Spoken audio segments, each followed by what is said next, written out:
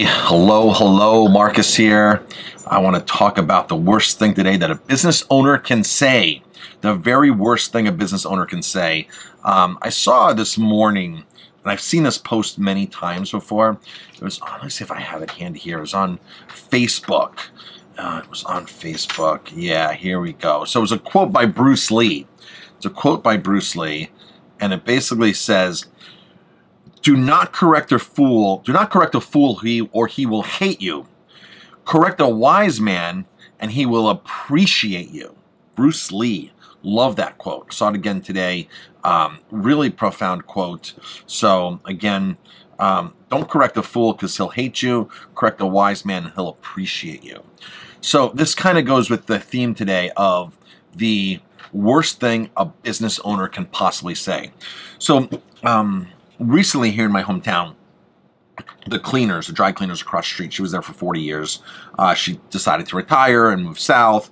And um, somebody else came in, literally within the last two months, somebody else came in and um, was uh, giving it a shot at, at, dry cleaning. Now, all the equipment was gone, so he had to outsource it to somebody else. So he would drive a half an hour every day and drop off clothes to a cleaner's uh, about a half an hour away and then, you know, subcontract it out and bring it back. And substations and dry cleaners do work. A lot of a lot of cleaners are substations. They don't clean in-house themselves. They send it out to their to their main one or they send it out to another company altogether and um, and just, you know, their drop-off point, uh, basically. So he was basically a drop-off point. He was a substation.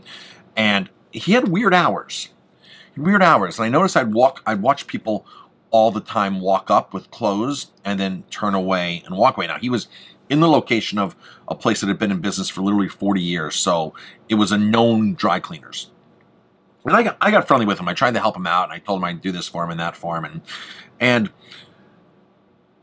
I went in yesterday, and he goes, um, "I'm not taking any more clothes." And I said, "Oh, you're not?" He goes, "No, I'm closing." And I said, "You're closing?" He goes, yeah, yeah, I'm closing. He goes, I can't make it here. And I said, you've only been here two months.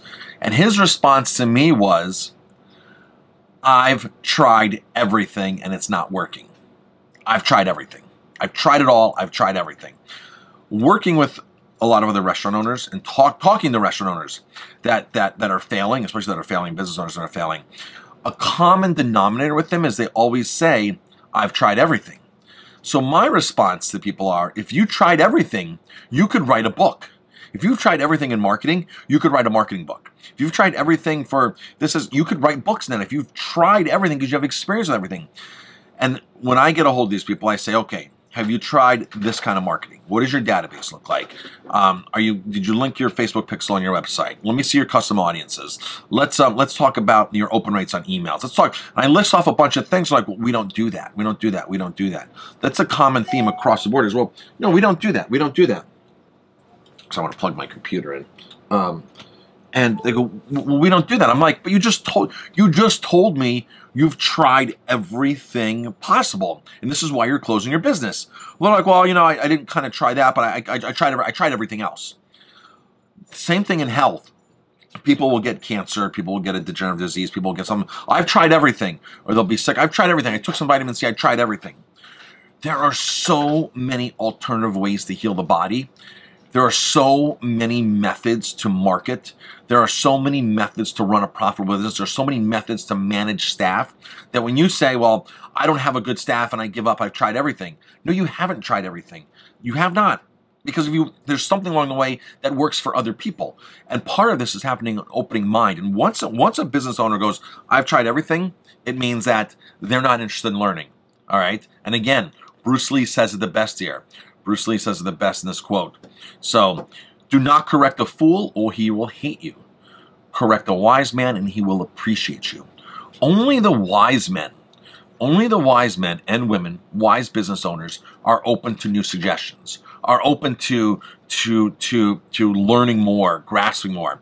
Some of the restaurant restaurateurs, the owners, some of these owners, some of these companies that I work for, own multiple restaurants. They're doing they're doing millions and millions and millions of dollars, and they're looking for one or two things to get them to the next level. And these are the people that are the wise people. These are the wise business owners. Um, I spoke to somebody the other day who is working for a chain restaurant, a nice chain restaurant, by the way, nice.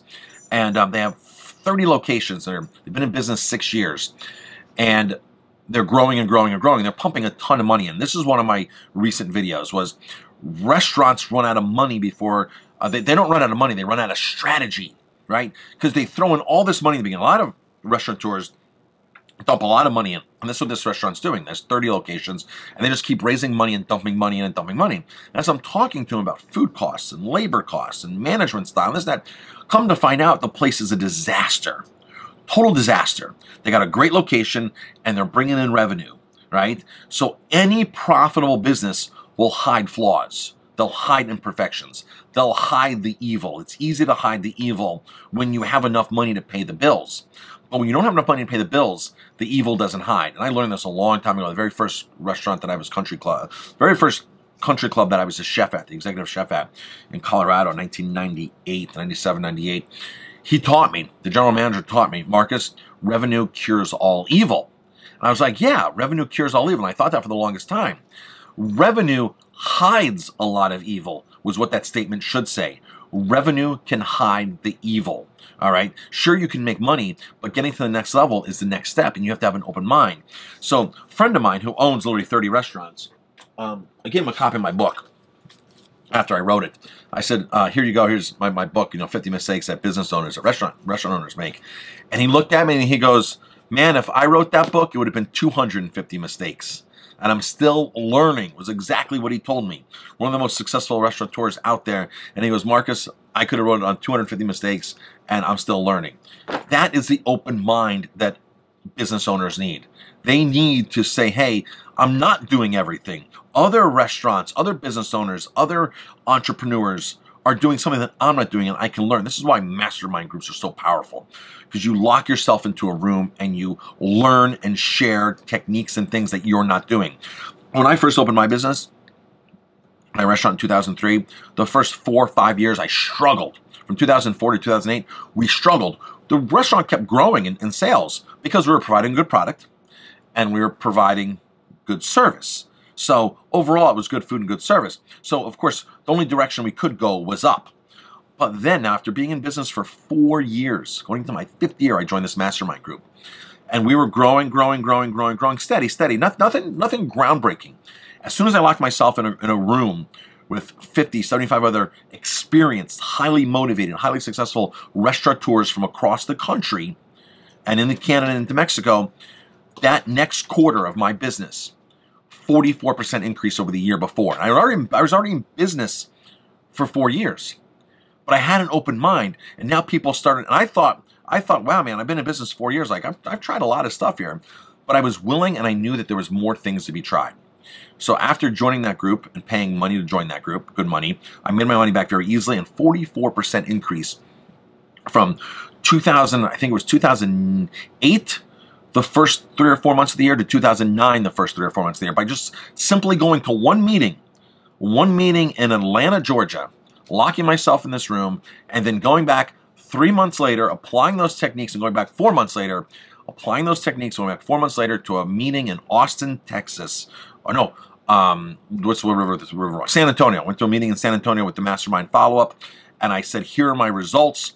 that I that I implemented. Here were the results. Here was what I did the year before without knowing these techniques.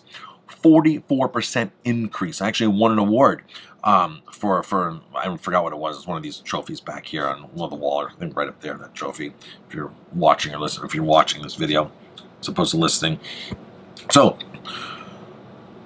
the most detrimental thing that any business owner can say is, I've tried everything. Because trust me, folks, you have not tried everything. That's the bottom line.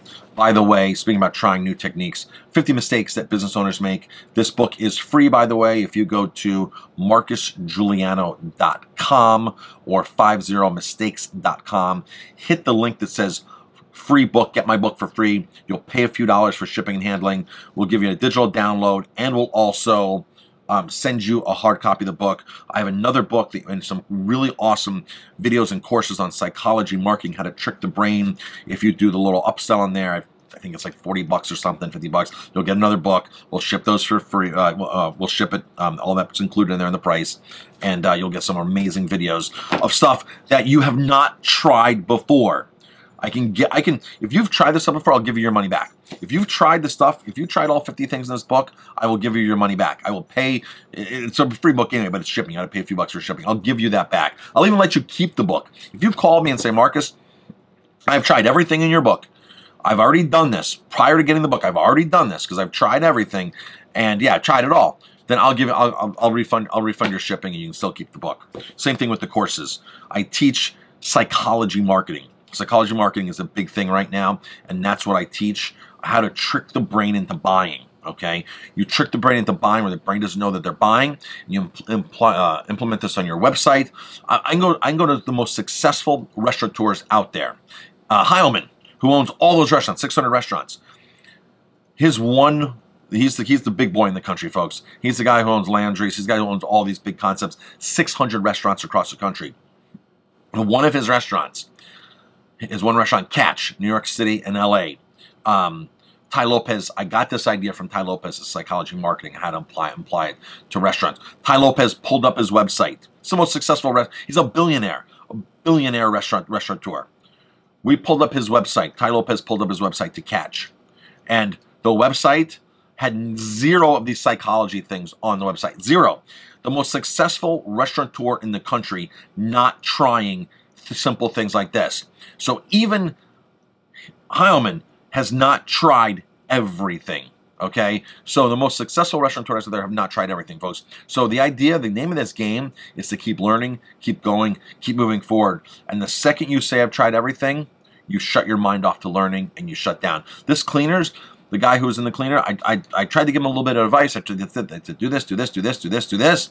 And all I ever heard was but, but, but, but. Don't be a but man. Don't be a but person. Don't say but. Tell me what you can do. And I, I, I, I tell this to my staff. I especially tell this to my wife. Tell me what we can do. I don't want to hear what we can't do. Tell me can'ts. Can't do this. Can't do that. Can't do that. I don't want to hear the buts. Tell me what you can do. And when you open your mind and you start saying things like that, things start happening as opposed to I've tried everything. All right, folks, thanks for tuning in.